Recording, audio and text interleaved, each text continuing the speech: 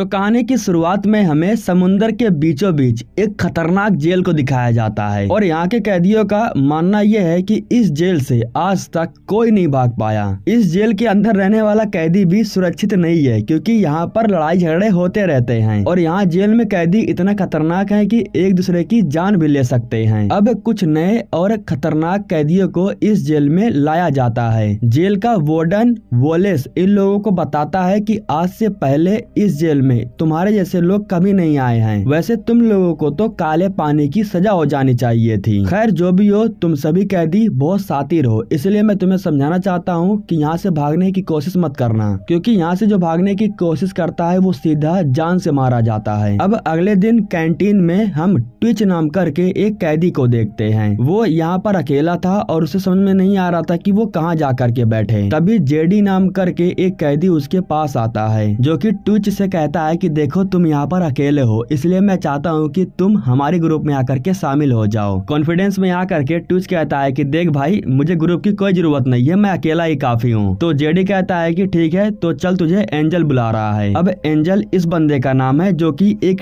Team group का leader है। Angel भी ट्विच से कहता है कि देख, तू यहाँ पर अकेला है, हमारे ग्रुप में अगर शामिल हो जाएगा तो तू फ़ायदे में रहेगा। लेकिन यहाँ पर भी ट्विच यही रोप झाड़ रहा था कि नहीं, मैं अकेला ही काफ़ी हूँ, मुझे तुम लोगों की कोई ज़रूरत नहीं है। एंजल कहता है कि देखो, अगर तुम हमारी टीम में शामिल हो जाते हो तो तुम्हें अपने शरीर पर ऐसा निशान लगवाना होगा। और अगर एक बार तुम अपने शरीर पर ऐसा निशान लगवा लेते हो तो आसपास कोई भी कैदी तुम्हें नहीं छुएगा। यहाँ पर एक और गैंग है, जिसके साथ में हमारी लड़ाई होने वाली है। इसलिए मैं चाहता हूँ की तुम हमारी गैंग में शामिल हो जाओ। तभी लंच टाइम खत्म हो जाता है और सभी कैदी अपने जेल के अंदर जाने लगते हैं। इस दौरान जो एंजल था, वो विलियम नाम करके एक कैदी से भिड़ जाता है। ये गलती से हुआ था। हालाँकि ये गलती से हुआ था, लेकिन फिर भी एंजल अपना रोप झाड़ने लगता है। वो कहता है कि मैं तुम्हें नहीं छोड़ूँगा, तुम्हें जान से मार दूँगा। विलियम इस बात को ज़्यादा सीरियस नहीं लेता है, वो सीधा जेल के अंदर चला जाता है। अब रात के समय में एक पुलिस वाला एक एलेक्स नाम करके कैदी के पास आता है उससे मिलने के लिए। वो एलेक्स को एक चाबी देता है और विलियम बगल में ही खड़े होकर के सब कुछ देख रहा था। खैर, अब अगले दिन सुबह हो जाने के बाद हम विजिटर्स को देखते हैं, जो कि अपने अपने परिवार से मिलने के लिए यहाँ पर आए हुए थे। ट्विच भी अपनी गर्लफ्रेंड सीरी से मिलता है। उसकी गर्लफ्रेंड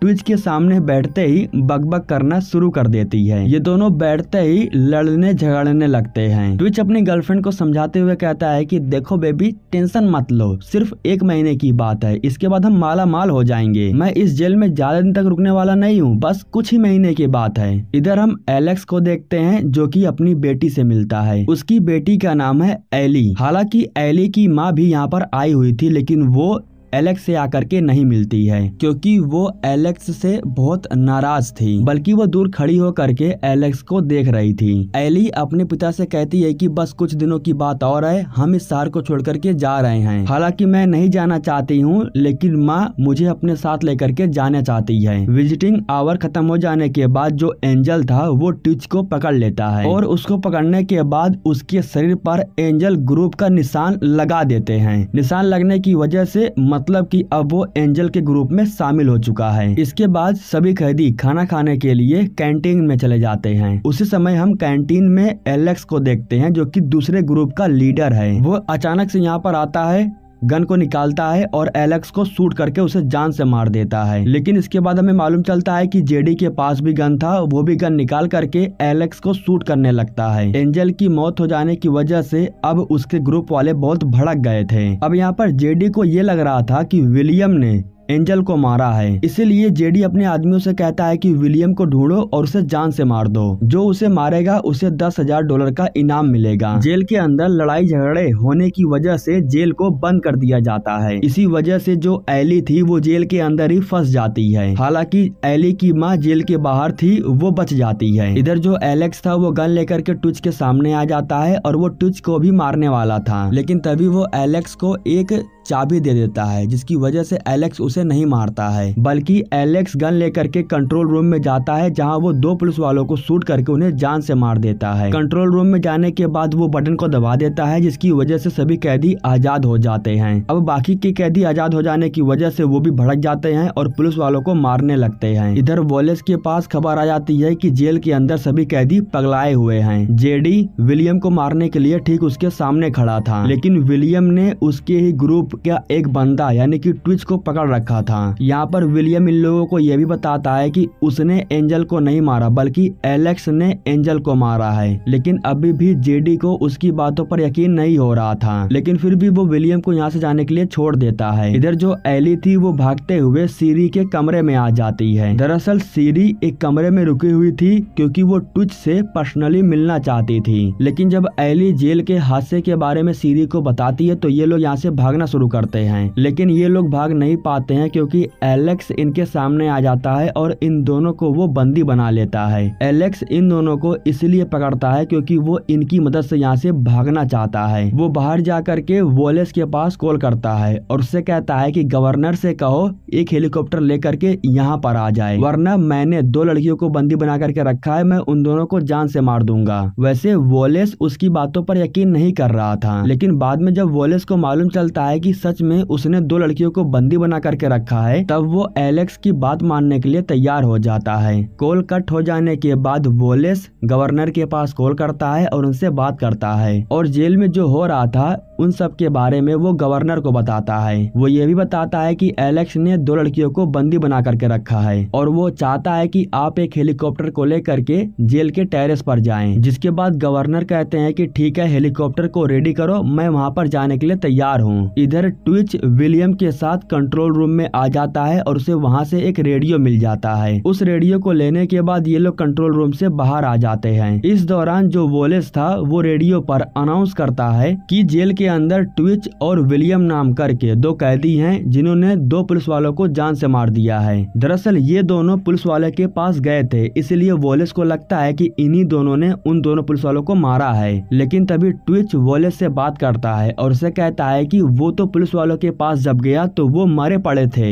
हमने उन्हें नहीं मारा है, हम तो उसके पास से बस ये रेडियो लेकर के आए हैं। तभी वोलेस कहता है कि तुम दोनों कहाँ पर हो? भलाई इसी में है कि तुम दोनों अपने आप को सरेंडर कर दो। यह सुनने के बाद ट्विच रेडियो उठा करके फेंक देता है और बहुत गुस्सा हो जाता है। इसके बाद जब ये लोग यहाँ से आगे बढ़ते हैं, तभी ट्विच के जेडी के ग्रुप वाले पकड़ लेते हैं और जेडी गन लेकर के विलियम के सामने खड़ा हो जाता है। अब जेडी के ग्रुप के जो मेंबर थे, वो विलियम को पीटने लगते हैं। विलियम अकेले इन लोगों का सामना नहीं कर पाता है, इसीलिए वो पीटते रहता है। विलियम को गन से शूट करने से पहले जेडी कहता है कि, अफसोस, तुम अपनी बेटी को नहीं बचा पाओगे। अब जब विलियम को मालूम चलता है कि उसकी बेटी इसी जेल के अंदर फंसी हुई है, तब वो बहुत गुस्सा हो जाता है। और अब जब बात उसकी बेटी की आ जाती है, तब वो अकेले ही इन लोगों को पीटना शुरू कर देता है। वो जेडी को इतना ज़्यादा मार देता है कि उसकी हालत खराब हो जाती है। अब विलियम का सिर्फ़ एक मकसद था, और वो था अपनी बेटी को बचाना। इधर जो एलेक्स था, वो फिर से वोलेस के पास कॉल करता है और उससे पूछता है कि हेलीकॉप्टर कहाँ पर है? तब गवर्नर बताते हैं कि वो हेलीकॉप्टर लेकर के निकल चुके हैं और कुछ ही समय के बाद वो जेल में पहुँचने वाले हैं। लेकिन गवर्नर झूठ बोल रहे थे। वो हेलीकॉप्टर को लेकर के सीधा जेल पर लैंड नहीं करते हैं। बल्कि वो जेल से थोड़ी दूर पर लैंड होते हैं क्योंकि उन्होंने एक प्लान बना रखा था। इधर विलियम ट्विच से पूछता है कि आखिर तुम इसी जेल के अंदर क्यों आए? जबकि तुम पहले अल्काट्राज जेल में थे। तब ट्विच बताता है कि वो यहाँ पर सोना लूटने के लिए आया हुआ है। यहाँ पर ट्विच बताता है कि थॉमस नाम करके एक इंसान ने सरकार का लगभग 200 करोड़ रुपए का बिस्किट उसने चुरा लिया था। वो बिस्किट सोने का है और दो बॉक्स में रखा गया था। जब थॉमस को पुलिस वालों ने पकड़ा तो उसके साथ में एक बॉक्स को भी पुलिस वाले हासिल कर लेते हैं। लेकिन दूसरा बॉक्स उसने कहाँ पर छुपा के रखा है? जेल के अंदर आने के बाद उसने मुझे बता दिया था, क्योंकि थॉमस को पता था कि वो एक न एक दिन ज़रूर मरेगा। उसे मारने के लिए उसके आसपास बहुत दुश्मन थे। और अब ट्विच यहाँ से आज़ाद होने के बाद वो उसी सोने को हासिल करना चाहता है। अब इस दौरान जो एलेक्स था, वो वोलेस के पास कॉल करता है और उससे कहता है की हेलीकॉप्टर कहाँ पर है। तब गवर्नर कहते हैं कि हम हेलीकॉप्टर को लेकर के आए हैं, लेकिन हम सबसे पहले उन दोनों लड़कियों की आवाज़ सुनना चाहते हैं। हमें सबूत चाहिए कि वो दोनों लड़कियाँ ज़िंदा भी हैं या फिर तुमने उन्हें जान से मार दिया। उसी समय ये लोग कैमरे में ट्विच और विलियम को देखते हैं, जो कि उसी तरफ़ जा रहे थे, जिस तरफ़ एलेक्स ने दोनों लड़कियों को बंदी बना करके रखा है। फाइनली विलियम अपनी बेटी एली को ढूंढ ही लेता है। लेकिन एलेक्स के हाथ में गन था, इसलिए विलियम यहाँ पर कुछ नहीं कर सकता था। हालाँकि विलियम कहता है कि तुम्हारे दुश्मनी मेरे साथ है, मेरी बेटी को यहाँ से जाने दो। तब एलेक्स कहता है कि नहीं, मैं इन्हीं दोनों लड़कियों की वजह से यहाँ से आज़ाद होने वाला हूँ। इस दौरान जो विलियम था, वो होशियारी दिखाने की कोशिश करता है, इसलिए एलेक्स उसे गन से शूट कर देता है। जब ट्विच एलेक्स पर हमला करता है, तब एलेक्स उसे भी उठा करके दूर फेंक देता है। अब विलियम को लगी हुई थी गोली, वो कुछ नहीं कर सकता था। एलेक्स दोनों लड़कियों को लेता है और यहाँ से निकल जाता है। लेकिन विलियम हिम्मत जुटा करके फिर से उठता है और एलेक्स का सामना करने के लिए उसके पास जाता है। दोनों लड़कियों को साइड में करने के बाद एलेक्स आ करके विलियम से फाइट करने लगता है। विलियम को जहाँ गोली लगी हुई थी, एलेक्स उसे वहीं पर बार बार मार रहा था। लेकिन फिर विलियम भी एलेक्स को बहुत मारता है। वो एलेक्स को जान से मारता उससे पहले ही एली आ करके अपने पिता को रोक देती है, क्योंकि वो अपने पिता को फिर से कातिल नहीं बनाना चाहती थी। उसी समय यहाँ पर पुलिस भी आ जाती है, जो मामले को रफा दफ़ा कर देती है। वैसे ट्विच ने दोनों लड़कियों की जान बचाई थी, और जिस गुनाह की वजह से वो जेल के अंदर आया था, वो गुनाह भी कुछ बड़ा नहीं था। इसी वजह से ट्विच की अच्छाइयों को देखते हुए उसे रिहा कर दिया जाता है। और दूसरी बात ये थी कि उसकी जो सजा थी, वो भी पूरी होने वाली थी। खैर, अब इस तरीके से ट्विच को रिहाई मिल जाती है। जेल से छूटने के बाद वो सीधा उस जगह पर जाता है, जहाँ पर उसने सोने के बिस्किट को छुपा करके रखा था। यहाँ पर लगभग डेढ़ सौ करोड़ का सोना छुपाया गया था, जिसको पाने के बाद ये दोनों ही बहुत खुश थे। सोने को पाने के बाद ये लोग अमीर बन जाते हैं और फाइनली ये लोग जेल के अंदर विलियम से मिलने के लिए भी जाते हैं। ट्विच बताता है कि उसने आधा सोना